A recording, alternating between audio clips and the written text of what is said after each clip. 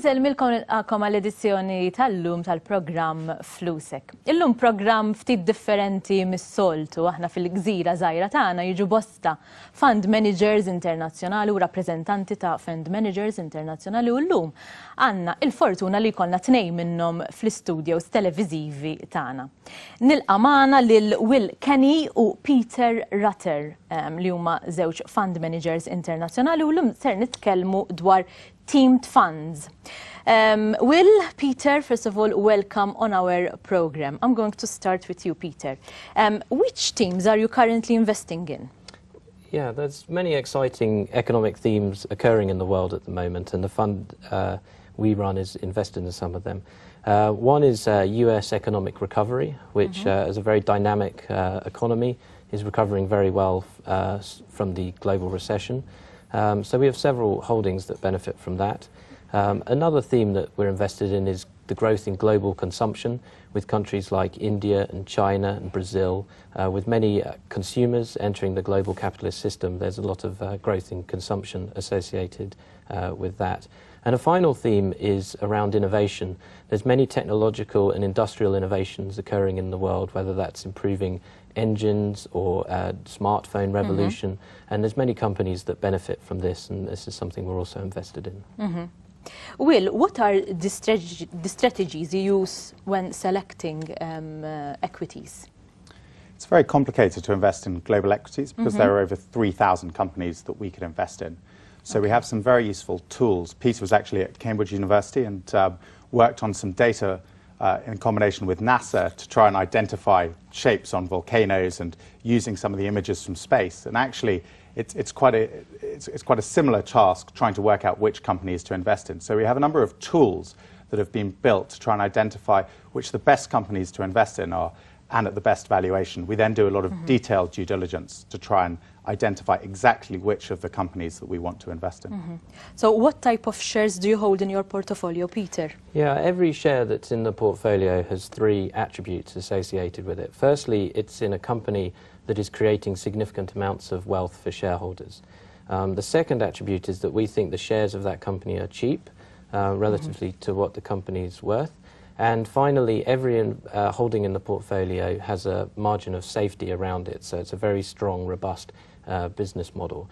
Um, so examples of things we own are therefore um, things like American Express or, or Adidas, um, very strong uh, global businesses um, with, that are creating a lot of uh, value for shareholders. Mm -hmm. usually shares are associated with higher risk. Um, how do you limit risk within themed funds? Um, you best yeah, we, we have a portfolio that we know and understand all of mm-hmm. the companies in great detail. So we uh, conduct rigorous due diligence on all of these companies. We've met the management of virtually every company we invest in. In fact, I'm uh, going to America next week to meet the managements of some of the, uh, some of the companies and get an update on, on the companies we invest in and visit some of their facilities.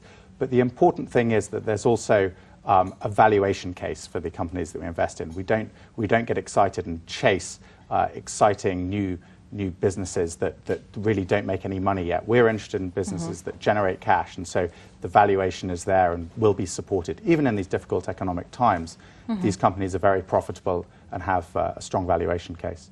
So, Peter, do you take profits and sell at a loss?